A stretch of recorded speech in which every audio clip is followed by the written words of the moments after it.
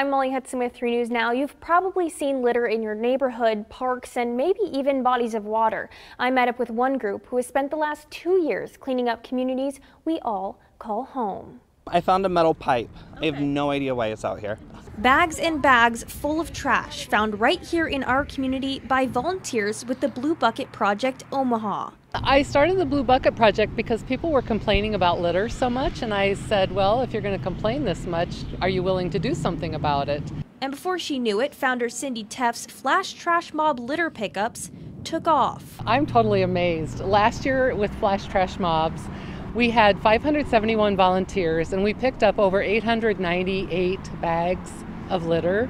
Pat Gromack has been with this group since it started about two years ago. It goes by fast when you're picking up litter. You just get addicted to it all the time. Passionate about keeping her community clean, participating in about 40 pickups so far. Nature is so beautiful, but it gets interrupted with all the trash and the litter that isn't natural, it doesn't really belong there. It's one hour out of your day and it's as easy as showing up at the site, grabbing a blue bucket, a trash grabber, and getting to work. When thinking about our earth, we really don't see a lot of natural trash. Everything is recycled and repurposed.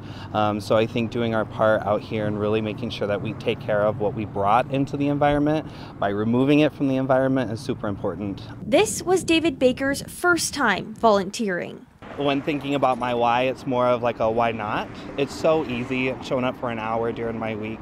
And in just 60 minutes, this group of 11 filled about eight bags of trash. It's something, if what little bit you do, it all counts. Cindy says litter can impact neighborhoods, animals, and waterways. One goal of this project volunteers come into a space, clear it up, and then. Hopefully, the people that live here or work here will kind of keep it up.